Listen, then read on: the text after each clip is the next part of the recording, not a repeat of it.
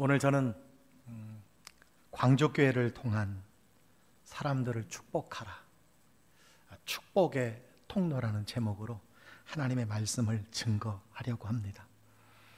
모든 설교가 하나님의 감동을 받아 선포되지만 헌신에 관한 설교는 참 어렵습니다. 그 가운데 물질에 관한 설교는 설교자로 하여금 더 고민하게 만드는 주제입니다. 왜냐하면 덮어놓고 물질에 대한 설교를 싫어하는 분이 계시기 때문입니다.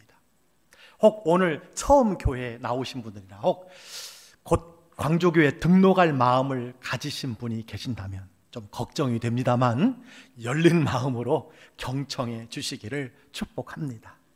미국의 맙 레셀이라고 하는 목사님이 계십니다. 네.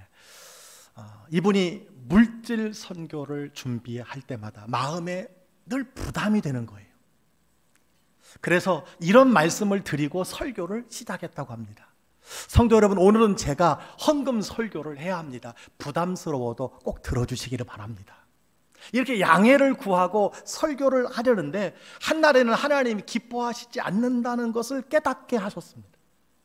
생각해 보니까 안식일을 지키라, 우상을 숭배하지 말라, 부모를 공경하라는 설교를 할 때는 한 번도 성도들에게 양해를 구한 적이 없더라는 거예요. 여러분, 오늘 우상 숭배를 하지 말라는 설교를 하려고 하는데 혹 우상 숭배하는 분들이 계시면 양해해 주시길 바랍니다. 여러분, 이렇게 한 번도 양해를 구하지 않았다는 거예요. 왜냐하면 그 자체가 하나님의 말씀이기 때문입니다. 그런데 내가 물질에 대한 설교를 하면서 양해를 구하는 것은 지나치게 사람을 의식했을 뿐만 아니라 사람의 종이 되었다라고 하는 것을 깨닫게 되었다는 거예요. 그는 그날 이후로 물질에 대해서 담대하게 설교하게 되었다는 사실입니다. 이 말씀이 저에게도 하나님의 감동으로 들렸어요.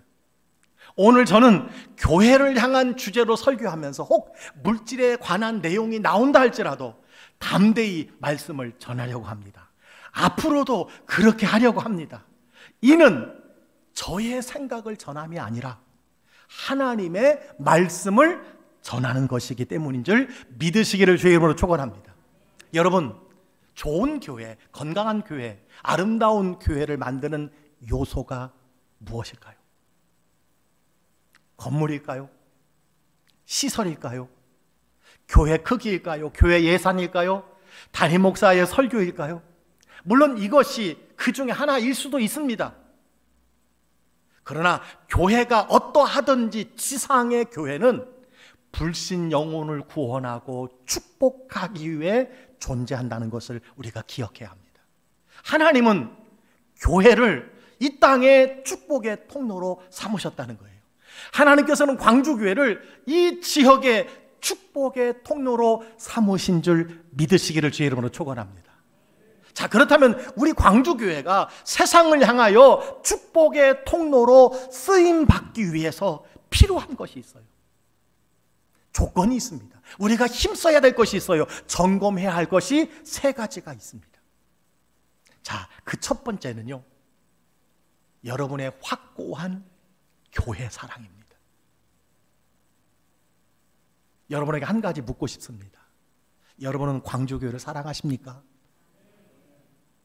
진실로 흔들림 없이 광주교회를 사랑하십니까? 아멘. 목사나 장로, 권사, 집사, 찬양대, 교사, 부서를 사랑하느냐고 묻는 것이 아닙니다. 여러분의 교회를 사랑하느냐는 거예요. 주님이 피값 주고 사신 광주교회를 사랑하느냐라고 묻는 것입니다. 여러분이 교회를 사랑한다면 반드시 여러분에게 헌신의 자리가 있을 것이라고 저는 생각을 합니다. 반드시 헌신하게 된다는 것을 저는 믿습니다. 만일 여러분의 몸과 마음과 시간과 물질에 주신 달란트에 헌신하지 않는다면 여러분 교회를 사랑한다고 말할 수 있을까요? 물론 말로는 사랑한다고 하지만 진정 그 사람이 교회를 사랑한다고 우리가 생각할 수 있을까요? 아니라고 생각합니다. 그런데요, 우리 광주 교회에도 다섯 분 중에 한 사람은 교회를 사랑하지 않는다고 제가 감히 말씀을 드릴 수 있습니다. 말로는 사랑한다고 말할지 모르지만 교회 사랑에 자신을 헌신하지 않는 분들이 너무 많이 있다는 사실입니다. 제가 여러분의 자녀 중 한 아이를 길거리에서 발견했다고 여러분 생각해 보세요. 그런데 그 아이가 헐벗었고 굶주렸고 젖었고 추위에 떨고 있었습니다. 제가 그 아이를 발견하고 여러분의 집에 데리고 갔습니다. 제가 이렇게 이야기하는 거예요. 이 아이를 사랑하십니까? 라고 질문할 때, 만일 그 부모가 나는 이 아이를 사랑합니다. 라고 대답한다면 여러분 어떻게 여기겠습니까? 아이에게 따뜻한 음식을 주고 옷을 입히고 씻어주고 방을 마련해 주지 않는다면 진정 그 부모가 그 아이를 사랑한다고 할 수 있을까요? 없을 것입니다. 여러분, 예수님께서 교회를 사랑하신다는 것을 믿으십니까? 예수님이 교회를 사랑하신다는 것 여러분 믿으시기를 바랍니다. 교회는요, 주님의 피값 주고 사신 교회입니다. 자, 예수님께서 교회를 사랑하신다는 것을 어떻게 할 수 있을까요? 에베소서 5장 25절에 말씀하고 있습니다. 그리스도께서 교회를 사랑하시고 교회를 위하여 자신을 주셨다고 말씀해 주셨어요. 교회를 사랑하사 자신을 주셨습니다. 만일 예수님께서 우리 교회 성도라면 희생적인 헌신을 우리 교회에 여러분 드렸다는 사실입니다. 만약 여러분 가운데 여러분의 몸과 마음과 시간 그리고 하나님이 여러분에게 더 주신 달란트를 지속적으로 드리지 않는다면 그 이유는 무엇일까요? 교회를 사랑하지 않기 때문이라는 사실을 우리는 기억해야 합니다. 그리고 교회를 사랑하지 않는 이유가 무엇일까요? 여러 가지 이유가 있겠지만 여러분이 예수님을 사랑하지 않기 때문이라고 저는 단정할 수가 있습니다. 여러분, 예수님이 에베소 교회를 책망하신 말씀이 성경에 기록되어 있어요. 너의 처음 사랑을 버렸느니라. 만일 여러분이 누군가를 사랑하지 않는다면 그 사람에게 아무것도 주지 않을 것입니다. 사랑은 주는 것이고 사랑 없이 줄 수는 있지만 주지 않고 사랑할 수는 없기 때문입니다. 여러분, 우리 광주교회가 이 지역 사람들에게 축복의 통로가 되려면 우리에게 필요한 것이 있습니다. 여러분의 확고한 교회 사랑이 필요하다는 사실입니다. 제가 항상 확신하고 목사로서 점검하는 몇 가지가 있습니다. 여러분이 교회에 베풀지 않을 때는 예수님께서도 여러분에게 베풀지 않는다는 것입니다. 여러분의 교회에 헌금하기를 주저주저 한다면 예수님도 물질에 관한 축복을 주저주저 한다는 사실을 꼭 기억해야 합니다. 교회가 교회를 돕고 구제하고 전도하고 선교를 거북하게 여기고 거부할 때에는요, 예수님도 그 교회에 도움 주기를 거북하게 여기고 거부한다는 사실을 여러분 기억해야 돼요. 이런 까닭에 저는 1년에 한 번 정도는 재정에 대해서, 물질에 대해서 설교하는 이유가 바로 여기에 있습니다.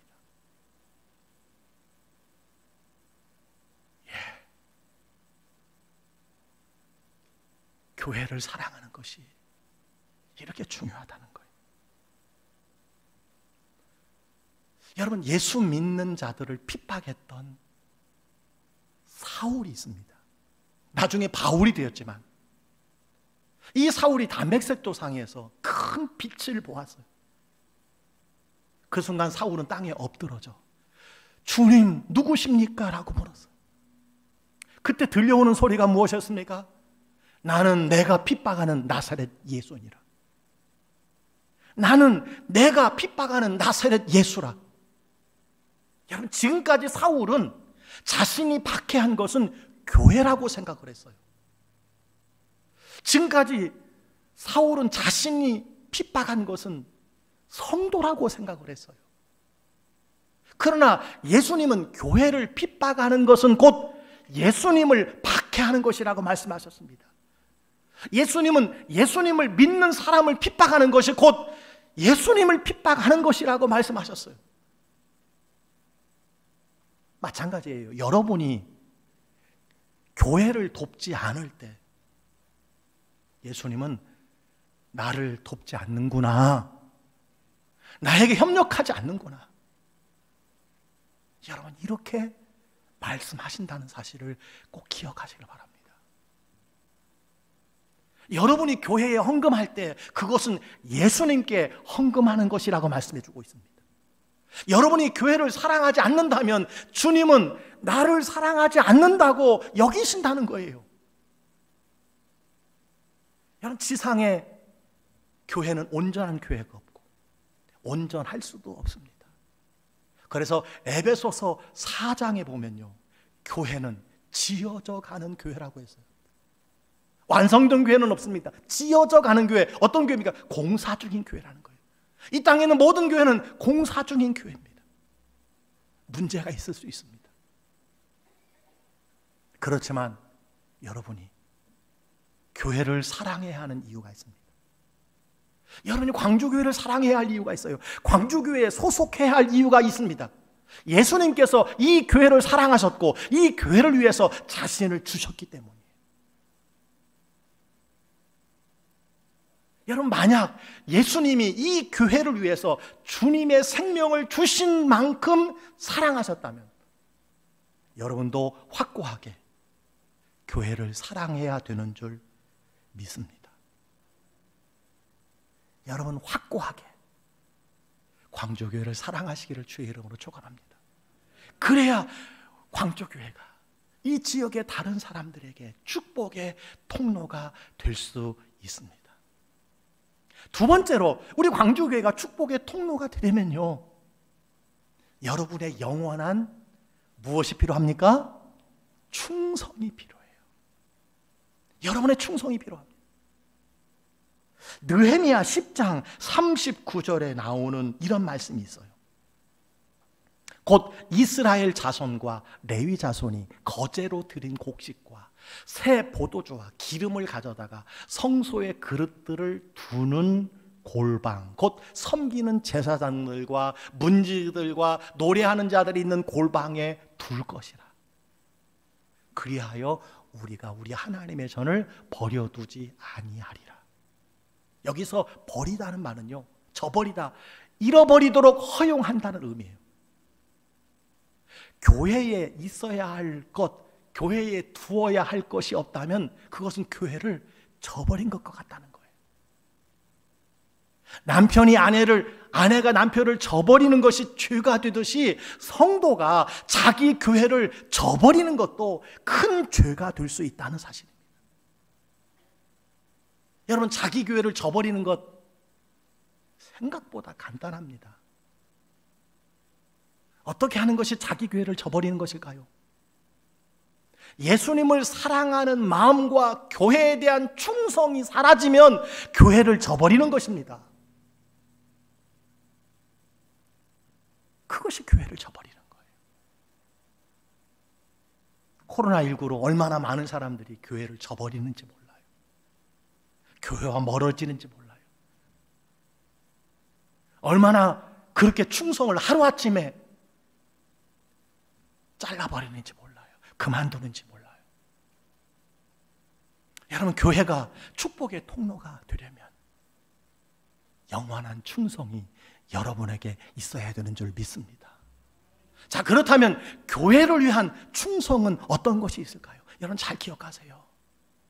이 교회를 향한 충성에는 어떤 것이 있을까요? 첫 번째는요, 교회를 위한 기도입니다. 우리는 몇 가지 방법으로 충성할 수 있어요. 무엇보다도 교회를 위한 기도가 가장 중요한 충성이라는 사실입니다. 하나님의 말씀을 증거하는 교회는 반드시 사탄의 공격을 받습니다. 하나님의 말씀을 전하는 공동체는 반드시 사탄과의 영적 전쟁이 있다는 사실을 여러분 기억해야 돼요. 따라서 합니다. 이스라엘 백성들이 아말렉과의 전쟁에서 가장 큰 변수가 있었어요. 그 변수가 무엇이었습니까? 지도자 모세가 손을 올리면 이스라엘이 이기고 지도자 모세가 손을 내리면 손이 내려오면 아말렉이 이겼어. 손을 올리는 것이 무엇입니까? 기도입니다. 기도가 올라가면 이기고 기도가 무너지면 패한다는 것이에요. 여러분 사도행전 교회 초대교회의 놀라움은 기적은 부흥은 여러분 기도하는 교회였다는 사실을 기억해야 합니다. 사랑하는 성도 여러분 무엇보다도 기도에 여러분 충성하는 여러분 되시기를 주의 이름으로 축원합니다. 항시기도 상시기도 기도의 사람이 되어야 돼요. 이것이 충성하는. 두 번째는요, 교회를 자랑하는 것입니다. 교회를 자랑하시기를 주의 이름으로 축원합니다. 어떤 교회도 완벽하지 않고 우리 교회도 예외가 아닙니다. 그러나 우리 교회는요, 칭찬받을 만한 일들이 많이 있습니다. 아멘. 107년 동안 분열 없이 하나의 교회를 이루어 왔습니다.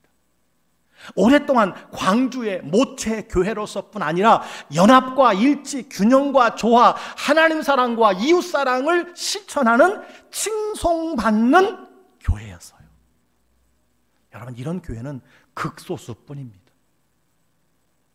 우리 교회에 공동체 하는 잃은 자, 외로운 자, 상처받은 자, 남녀 노소가 다 있습니다.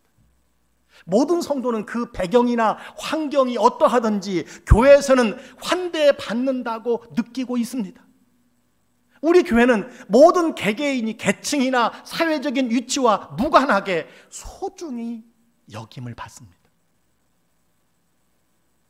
여러분, 우리 광주교회는요, 특별히 목회자 리더십이 수십 년 동안 사입이나 이단이나 스캔들이나 도덕적 결함에서 자유로웠다는 사실이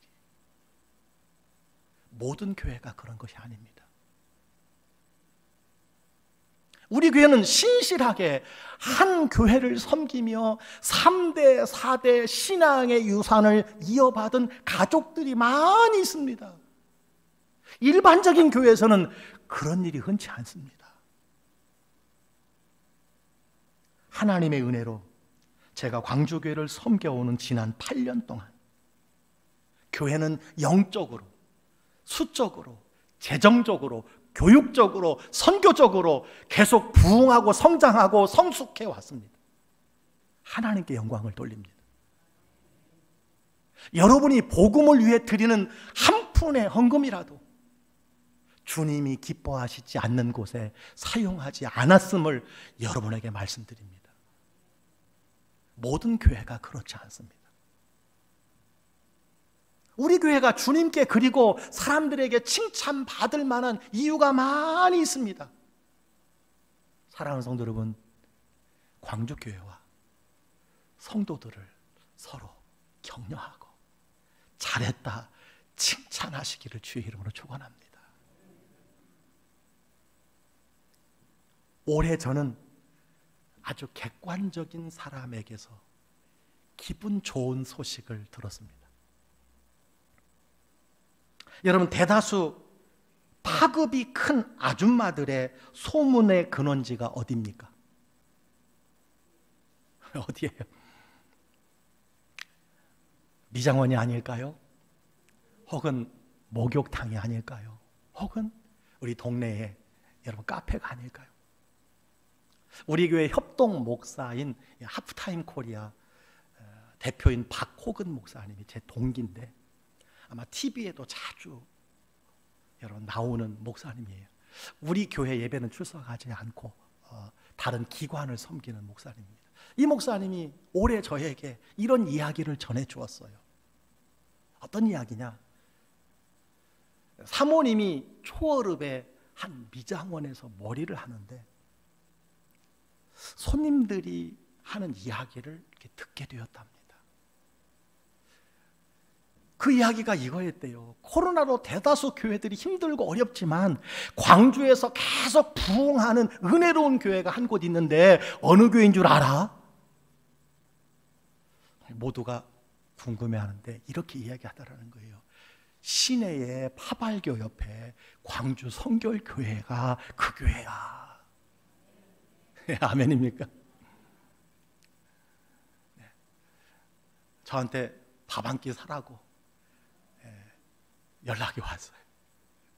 야, 어떻게 미장원에서 그것도 초원에서 아줌마들이 모여서 광주 교회가 부흥하고 은혜롭고 목사님도 좋다고 그러더라. 네. 여러분 소문대로 말대로 하나님께서 이루어 주실 줄 믿습니다. 이런 교회가 우리 교회예요. 이런 교회가 여러분이 속한 광주 교회입니다. 저는 소원합니다.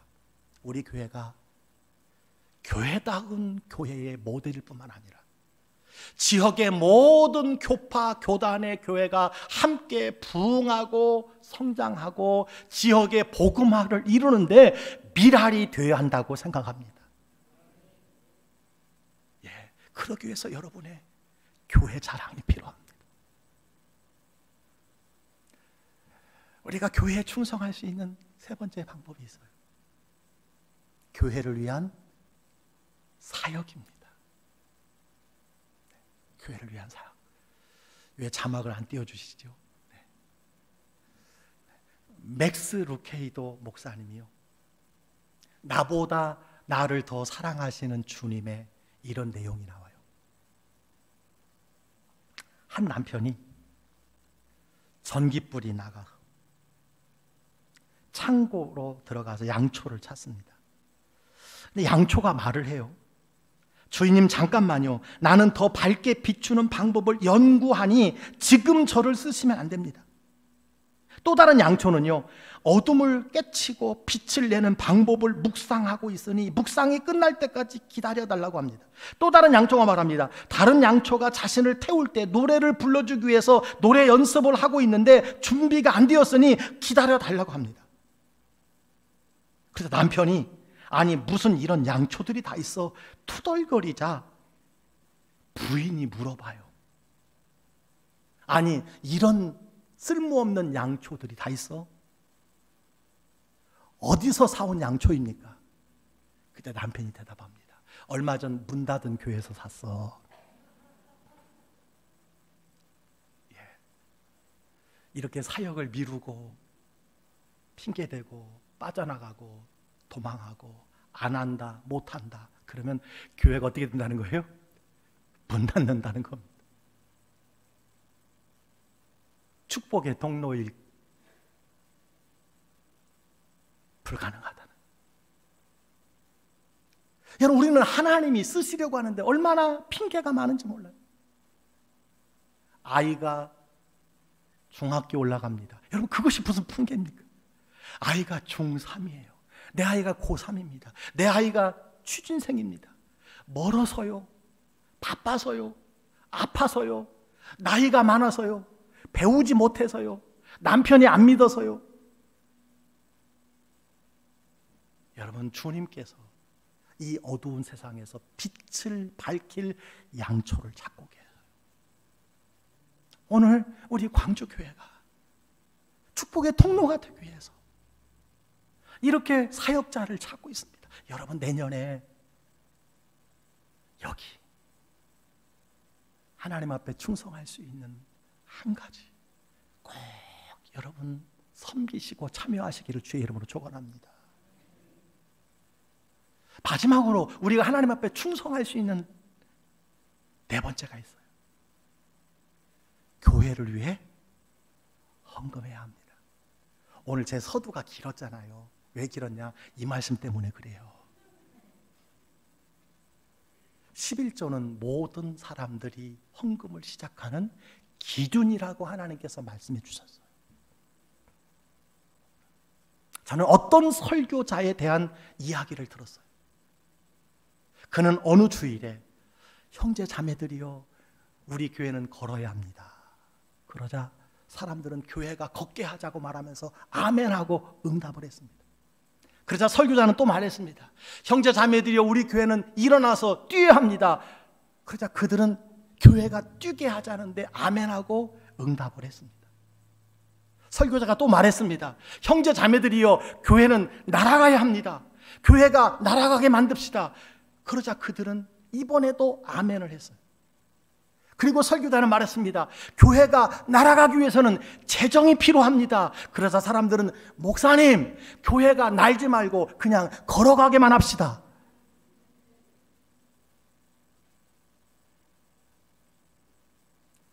한 해가 얼마 남지 않았습니다. 올해 코로나 상황임에도 불구하고 여러분이 드린 물질은 우리 교회로 주께서 기뻐하시는 일에 부족함이 없었어요. 하나님의 은혜에 감사합니다. 또 우리 성도 여러분께 감사를 드려요. 많은 성도님들께서 교회에는 나오시지 못하지만 온라인으로 또 교회를 방문해서 마음을 다하여 기쁘고 즐겁게 헌금해 주신 분들이 얼마나 많은지 몰라요. 어떤 분은 지난 6개월 동안 온라인으로 예배를 드리면서 봉헌했던 헌금 봉투를요, 이렇게 20개 이상 비닐에 싸서 제 방에 가져 오신 권사님들이 많이 계세요. 혹 온라인으로 예배 드리는 분 중에 여러분 이 모아놓은 헌금이 있다면 여러분 교회로 전달해 주시기를 바랍니다. 헌금해 놓고 또 그거 쓰시고 또 헌금해 놓고 쓰시고 그러지 마시고 여러분 하나님을 사랑하십니까? 예수님을 사랑하십니까? 광주교회를 사랑하십니까? 교회를 확고하게 사랑하시길 바랍니다. 그리고 교회를 위해서 충성하시기를 바랍니다. 그 충성에 네 가지를 제가 말씀을 드렸어요. 그 충성의 시금석은 여러분의 헌금도 포함된다는 사실을 기억하시길 바랍니다. 여러분 사람을 믿는 데 있어서 그 사람의 돈 사용하는 것을 믿지 못한다면요. 그 사람 믿을 수 없습니다. 물질에 대해서 정확하지 않으면 그 사람 믿을 수 없습니다.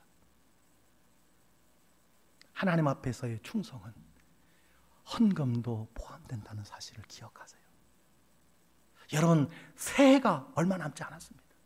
새해부터 다시 충성하지 않겠습니까? 기도로 충성하시고, 교회 자랑으로 충성하시고, 여러분의 사역의 장소, 여러분 충성하시고, 그리고 헌금의 목표를 계획하시기를 주의 이름으로 축원합니다. 헌금도 계획해야 돼요. 내가 한 달에 한 번은 감사의 물을 드리리라. 액수는 상관없어요. 내가 북한 비전의 예물을 드리리라. 내가 장학 헌금을 한 달에 한 번은 드리리라. 내가 한 달에 한 번 정도는 성교 헌금을 감사 헌금을 드리리라. 내 자녀들 것까지 내가 드리리라. 여러분 계산해야 합니다. 하나님 내가 이 정도의 11조를 드리겠습니다. 저에게 그런 수입을 허락해 주시옵소서. 여러분 목표를 세워야 합니다. 여러분이 믿고 확신하는 것이 있잖아요. 그것이 무엇입니까? 여러분이 어떤 일을 이루기 위해서 세운 목표가 있다면 철저하게 따르게 되고 이루어진다는 사실입니다. 헌신은 여러분 인생의 목표를 세우고 믿음을 강하게 하는 중요한 요소가 된다는 사실을 여러분 기억하시기를 바랍니다. 헌금의 목표를 세운다면 그것은 여러분이 어떤 목표를 성취하는데 하나님이 어떻게 도우시며 일하시는지를 보게 될거예요. 하나님이 일하신다는 것을 보게 될 거예요. 헌금에 대한 여러분의 목표, 사역의 참여에 대한 여러분의 계획, 교회 자랑, 그리고 기도의 목표. 여러분 세우시기를 주의 이름으로 축원합니다. 성경 고린도 후서 8장 2절은 이렇게 말합니다. 환란의 많은 시련 가운데서 그들의 넘치는 기쁨과 극심한 가난이 그들의 풍성한 연보를 넘치도록 하게 하였느니라. 이런 보세요. 풍성한 연보와 전혀 관계없는 환란의 많은 시련, 극심한 가난. 그러나 어떻게 풍성한 연보를 드리게 되었을까요? 계획하고 목표를 세웠기 때문에 가능한 것입니다. 고린도전서 16장 2절은 이렇게 말합니다. 매주 첫날에 너희 각 사람이 수입에 따라 모아두어서 모아두어서 계획해서 준비해서 목표를 세워서 하나님 앞에 헌금하라는 거예요. 여러분 12월에 다 지나갔습니다. 1월부터 계획하세요. 목표를 세우세요.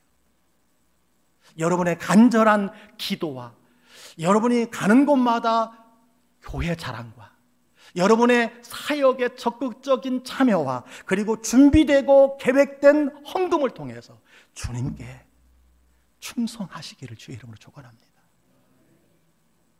그렇습니다. 확고한 교회 사랑이 우리에게 필요하고 영원한 충성이 우리 교회를요 축복의 통로로 만든다는 것. 마지막 한 가지가 더 있습니다. 여러분의 지속적인 예배 드림입니다. 여러분의 지속적인 예배의 참석입니다. 온라인도 괜찮습니다. 오프라인도 괜찮습니다. 다시 한번 말씀드립니다. 비상시에는 장소가 중요하지 않습니다. 두세 사람이 내 이름으로 모인 그곳에 주님이 함께 하신다고 해서요. 영과 진리로 드리는 그곳에 주님이 임재하셔요. 여러분 그러나 나오실 수 있는 분은 나오세요. 여러분 이 1200석의 일부 예배는요. 60명이 앉아서 예배 드려요.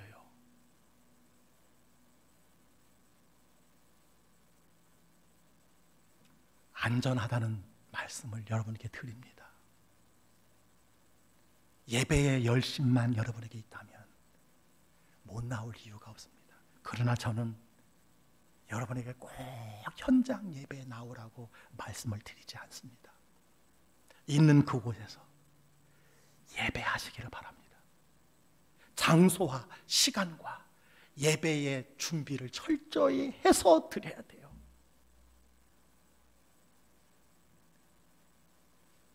교회는 여러분이 지속적이며 성실하게 참석해야 하는 곳이라는 사실을 여러분에게 분명히 말씀드립니다. 온라인으로라도요. 여러분 수많은 서구 사람들은요. 교회에 오직 세 번 참석한다고 합니다. 태어나서 유아 세례를 받을 때, 두 번째는 결혼할 때, 마지막은 영혼이 떠난 장례식에서 교회를 간다고 합니다. 예수 믿는 사람들 중에 어떤 사람은 교회는 가끔 나와도 된다고 생각하는 사람이 있습니다. 그렇지 않습니다. 몇 개월 만에 교회를 나와서 예배 드리는 한 권사님이 저에게 그래요. 목사님, 내가 권사인데도 6개월 만에 예배를 드렸더니 이게 내 교회인지 어색해요. 그런데 나와 보니까 너무 좋아요. 여러분, 눈에서 멀어지면 마음에서 멀어집니다. 얼마나 많은 사람들이 지금 하나님과 멀어졌는지 몰라요. 예배와 멀어졌는지 몰라요. 쭉정이로 날아갔는지 몰라요. 여러분, 10편 122편 1절에 이런 말씀이 있어요. 다 같이 한번 읽어 볼까요? 사람이 내게 말하기를 여호와의 집에 올라가자 할 때에 내가 기뻐하였도다. 아멘. 얼마나 귀한 말씀이에요. 사람들이 내게 말하기를 여호와의 집에 올라가자 할 때 내가 기뻤다. 여러분도 이런 삶을 사시기를 주의 이름으로 축원합니다. 구역장이 여호와의 집에 나가자 할 때 내가 화났도다 그러지 마시고 교역자가 전화 와서 이제 좀 예배 좀 나오세요 할 때에 내가 분노했더라 그러지 마시고 내가 기뻤더라 하시는 여러분 되시기를 주의 이름으로 축원합니다. 여러분 시편 84편의 예배자의 고백이 좀 우리에게도 있어야 되지 않겠습니까? 만군의 여호와여 주의 장막이 어찌 그리 사랑스러우지 내 영혼이 여호와의 궁정을 사모하여 쇠약하며 주의 궁정에서의 한 날이 세상에서의 첫날보다 좋습니다. 여러분 몸은 못 나와도 마음이라도 이 사모함이 여러분에게 있어야 되지 않겠습니까?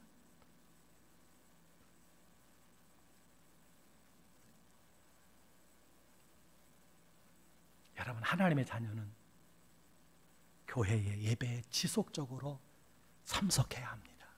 이것은 하나님의 명령입니다.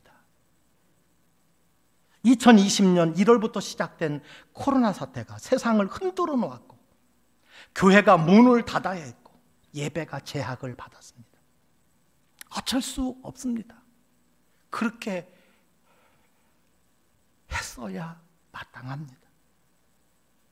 모든 예배가 온라인으로만 드릴 때도 있었고 혹은 10%만 참석해야 했던 때도 있습니다. 우리는 지난 2년 동안 구역 예배와 각종 소그룹 모임을 갖지 못했습니다. 그럼에도 불구하고 하나님께서는요, 우리 광주교회를 사랑하셔서 작년보다 더 넘치도록 축복해 주셨습니다. 오늘 107년차 사무총회를 갔습니다. 하나님께서 축복해 주셨어요. 사랑하는 성도 여러분, 광주교회가 광주 지역의 축복의 통로가 되기를 원하십니까? 진정 원하십니까? 그렇다면 여러분의 확고한 교회 사랑이 필요합니다. 여러분의 영원한 충성이 필요합니다. 어떤 면의 충성입니까? 기도의 충성, 교회 자랑의 충성, 사역의 참여, 헌금 이런 충성이 필요합니다. 그리고 여러분의 지속적인 예배의 참여가 필요합니다. 여러분, 교회를 위해서 헌신하고 있습니까? 여러분, 교회를 위해서 헌신하고 있습니까? 교회를 위해서 사역하고 있습니까? 참여하고 있습니까? 내던진 것 다시 시작하세요. 저는 이것만 고백드리고 싶습니다. 저는 광주교회를 사랑합니다. 광주교회는 주님의 교회요. 여러분의 교회입니다.